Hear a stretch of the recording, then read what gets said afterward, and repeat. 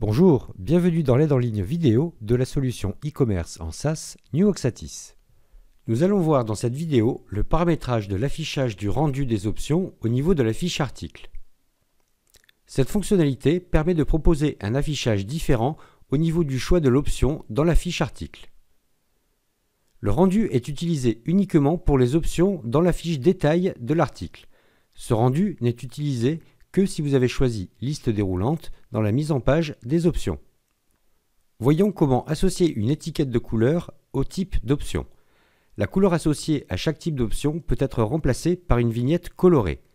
Pour y accéder, menu catalogue options et caractéristiques, icône éditer les propriétés. En cliquant sur la zone prévue à cet effet, il est possible d'associer une couleur à un type d'option. Vous pouvez utiliser la palette de couleurs ou bien renseigner un code hexadécimal. Vous voyez ici le changement au niveau du choix des options. Ce paramétrage est basé sur une grille de couleurs pour le type d'option couleur et une grille de valeurs pour le choix de la taille et le type de colle. L'affichage des types d'options au niveau de la fiche article se paramètre depuis le champ rendu il est donc possible de proposer un affichage différent au niveau de la recherche à facettes et au niveau de la fiche article. Si le champ est vide, l'affichage sera par menu déroulant. Voici un exemple d'affichage des différences entre la liste des articles, catégorie, et la fiche article.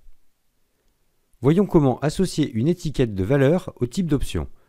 En renseignant la colonne valeur et en choisissant le rendu grille de valeur, le système va afficher ces valeurs à la place des noms des types d'options.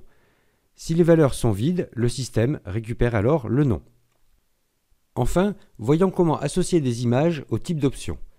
La solution permet d'afficher des images pour la sélection des types d'options.